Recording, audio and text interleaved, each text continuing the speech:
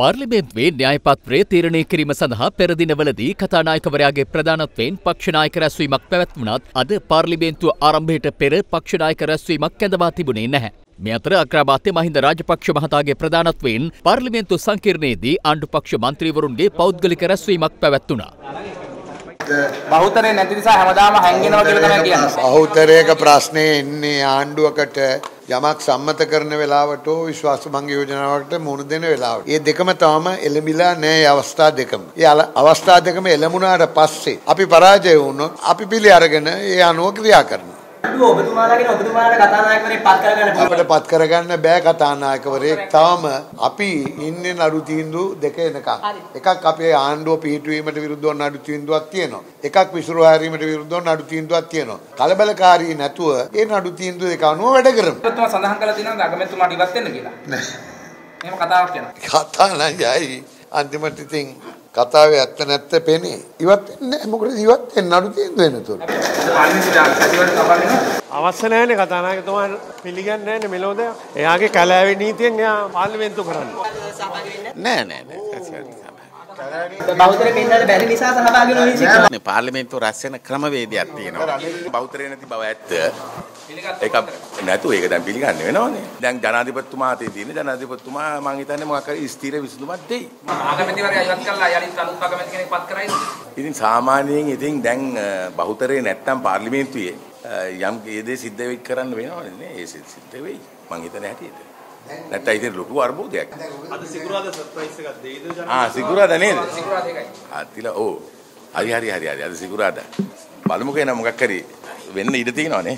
අද වෙනකොට දෙමළ ජාතික සන්ධානයේ ටෙලෝ වගේ කණ්ඩායම් දැනටම ඒ බෙදීම ඇති කරගෙන දෙනවා. දැන් ටෙලෝ කණ්ඩායම ඉන්න മന്ത്രിවරු දෙදෙනා විශේෂයෙන්ම ඊයේ සාකච්ඡාවක් කරලා දෙනවා කොහොමද එක්සත් ජාතික පක්ෂයත් එක්ක මේ විදිහට එකතු වෙන්නේ කියලා.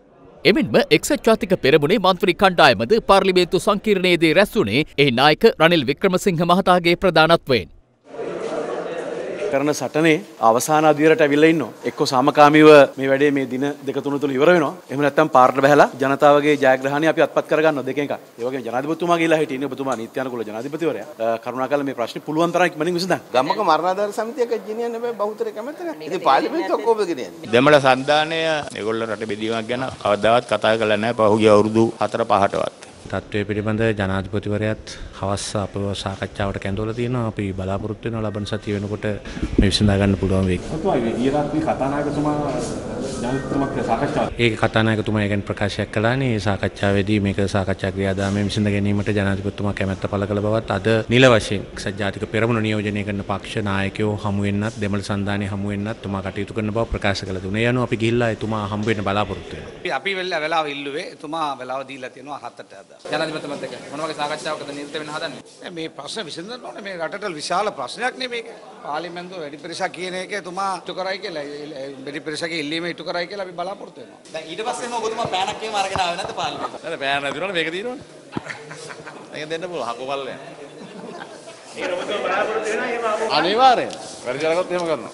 කෙසේ වෙතත් අද දිනේදීද එක්සත් ජනතා නිදහස් සන්ධානය නියෝජනය කරන කිසිදු මැති ඇමතිවරයෙකු පාර්ලිමේන්තු සභාගර්භය තුළට පැමිණියේ නැහැ. එක්සත් ජාතික පක්ෂ පාර්ලිමේන්තු මන්ත්‍රී පාටලි චම්පික රණවක මහතා විසින් ජනරජයේ අරමුදල් වලින් අමාත්‍යවරුන් නියෝජ්‍ය හා රාජ්‍ය අමාත්‍යවරුන් සහ ඔවුන්ගේ පෞද්ගලික කාර්යමණ්ඩල සඳහා කිසිදු වියදමක් අනුමත කිරීමට කවර හා සියලුම අමාත්‍යංශ ලේකම්වරුන්ට කිසිදු බලයක් නොමැති බවට සම්බන්ධයෙන් වූ යෝජනාව ඉදිරිපත් කරනු ලැබුවා. යෝජනාව ඉදිරිපත් කිරීම ආණ්ඩුක්‍රම ව්‍යවස්ථාවේ 148 වෙනි ව්‍යවස්ථාවෙන් බලය පැවරී ඇති පරිදි රාජ්‍ය මූල්‍ය පිළිබඳ සම්පූර්ණ පාලනය පාර්ලිමේන්තුව සතු හේින්ද 2018 නොවැම්බර් 15 වෙනි දින සිට අමාත්‍යවරුන්ගේ රාජ්‍ය අමාත්‍යවරුන්ගේ නියෝජ්‍ය අමාත්‍යවරුන්ගේ හා ඔවුන්ගේ පුද්ගලික කාර්ය මණ්ඩල සඳහා වැටුප් සහ අනිකුත් පාරිශ්‍රමිකයන් ගෙවීම පිණිස ජනරජයේ අරමුදල් වෙතින් කිසිදු වියදමක් අනුමත කිරීමට කවර හා සියලුම අමාත්‍යාංශ ලේකම්වරුන්ට කිසිදු බලයක් නොමැති බවටත් ඉහත කී අමාත්‍යවරුන් වෙනුවෙන් විදේශ සංචාර හෙලිකොප්ටර් යානා භාවිතය ඇතුළු අභ්‍යන්තර ගුවන් ගමන් සඳහා වූ වියදම් පියවීමද තහනම් වන අතර මෙම යෝජනා සම්මතය උල්ලංඝනය කරමින් කවර හෝ ක්‍රියාමාර්ගයක් ගන්නා කවර හෝ තැනැත්තෙකුට එරෙහිව නීතිමය පියවර ගත යුතු බවටත් මෙම පාර්ලිමේන්තුව යෝජනා සම්මත කරයි. පාටලි චම්පික රණවක මැත්තුමා විසින් ඉදිරිපත් කරන ලද යෝජනාව මම ස්ථීර කරනවා. ලේකම්වරුන්ට මේ සම්බන්ධව දන්වන්න කියලා මේ යෝජනා ස්ථීරත්වය අපි ගරු කතානායකතුමාගෙන් ඉල්ලාස. නිවටන්ගේ ගෘත්වාකර්ශණ ප්‍රවාදය අයින් කරන්න පුළුවන් වුණත් එක සරල උදාහරණයකට. හතර පාරක් විශ්වාසය බංග වෙච්ච පුද්ගලයා ගෙදරන යන්න මොකද කියන එක තමයි අද අපට තියෙන ප්‍රශ්නය ගරු කතානායකතුමා.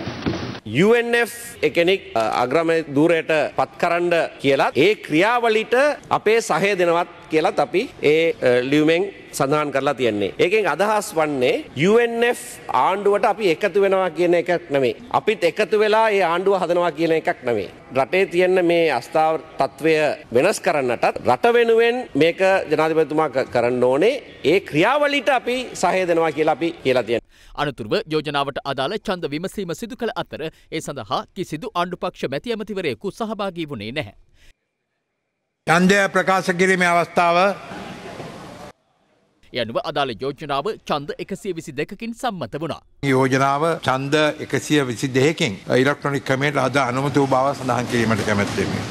යෝජනාවට පක්ෂව එක්සත් ජාතික පක්ෂයේ මන්ත්‍රීවරු සියයක් දෙමළ ජාතික සන්ධානය නියෝජනය කරන මන්ත්‍රීවරුන් දහතුනක් ජනතා විමුක්ති පෙරමුණේ මන්ත්‍රීවරු හයදෙනා සහ එක්සත් ජනතා නිදහස් සන්ධානයෙන් විපක්ෂයට සහය පළ කිරීමට එක් වූ මන්ත්‍රීවරුන් තිදෙනෙකු ඡන්දය භාවිත කර තිබුණා. කෙසේ වෙතත් එක්සත් ජාතික පක්ෂ පාර්ලිමේන්තු මන්ත්‍රී සුජීව සේනසිංහ මහතා අද පාර්ලිමේන්තුව වෙත පැමිණ සිටියේ නැහැ.